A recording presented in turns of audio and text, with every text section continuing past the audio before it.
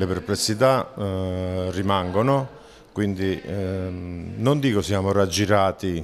dai valori che ci stanno dando loro, però non abbiamo un confronto, cioè bisogna sentire, come si dice in gergo dialettale, le due campane. Quindi dovremmo capire se eh, ARPAC o ASL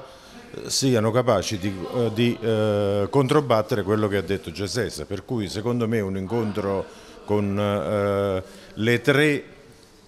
insieme si dovrebbe realizzare. Mm, ha snocciolato l'amministratore delegato dei dati che ci hanno tranquillizzati. Logicamente rimane il dubbio di capire come mai appunto, si è passati da un valore così alto, oltre 200, a uno in poco tempo. Quindi non lo so, ci saranno delle, chi sedie opportune e in qualche modo controlleranno questa cosa, se è stato un errore o meno, speriamo di sì. Sì, un incontro anche più tecnico di questo, perché qui più che altro si tenta di far capire un pochettino alla, alla popolazione eh, che il problema si è risolto forse probabilmente non c'è mai stato a questo punto. Noi ci aspettavamo anche un contraddittorio perché hanno spiegato dalla parte loro, giustamente, essendo Gesesa, hanno dato i dati loro, ma noi volevamo avere delle delucidazioni anche da parte del comune perché i dati erano dell'ente di controllo. E come mai l'ente di controllo all'improvviso ha cambiato i dati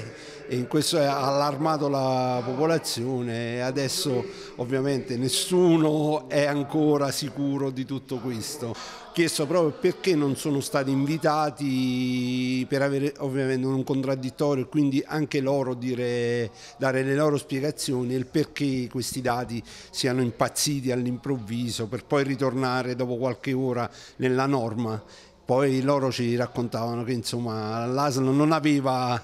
tutti i dati quel giorno che si sono incontrati in prefettura ma sono arrivati in un secondo momento, quindi noi vorremmo capire dall'ASL e dall'ARPAC il perché di tutto questo e, e hanno creato un allarmismo in città e mh, mm, il comune anche doveva insomma, vigilare su sta cosa prima di lanciare una bomba simile e farla rientrare in 24-48 ore.